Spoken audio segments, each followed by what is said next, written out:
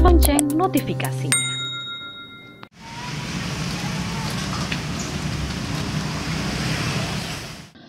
Kelangkaan minyak goreng juga terjadi di kota Bontang dengan semakin sulitnya ketersediaan minyak goreng tersebut dikeluhkan salah satu penjual gorengan yang berlokasi di Jalan Jenderal Sudirman Tanjung Laut Bontang Selatan ini.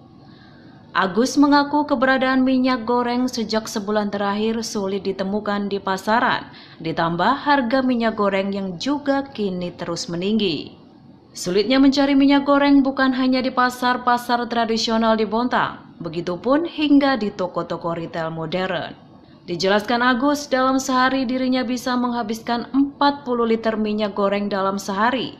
Dengan kebutuhan bahan baku minyak goreng yang dirasa banyak itu, tak akan mencukupi kebutuhan produksinya jika saat ini minyak goreng sulit untuk didapatkan. Usahanya pun terancam akan tutup sementara jika minyak goreng sudah tak bisa didapatkan lagi di Bontang. Sulit Pak ya? Memang lagi susah. Ini kosong sudah ini. Hmm. Tidak ada minyak. Hmm. Pak dengan naiknya minyak goreng ini sulit cari Pak. E, penjualan gorengan sendiri seperti apa Pak? Ya, otomatis kan kita tekor mas kalau minyak naik. Hmm. Untuk menonggokinya itu ya tidak ada juga. Hmm. kita sendiri mau menaikkan gorengan juga nggak bisa. Nggak bisa Pak ya? Iya. Iya berarti tetap stabil aja Pak ya, Ya. untuk gorengan dijualnya Pak ya? Harganya sih tetap stabil, tapi kalau bisa kan minyak ya harus turun lah minyak. Iya. Ditambahkan Agus, meski minyak goreng tengah sulit untuk didapatkan dan harga minyak goreng tengah mahal, dirinya tak menaikkan harga dan mengurangi porsi gorengan yang dijualnya.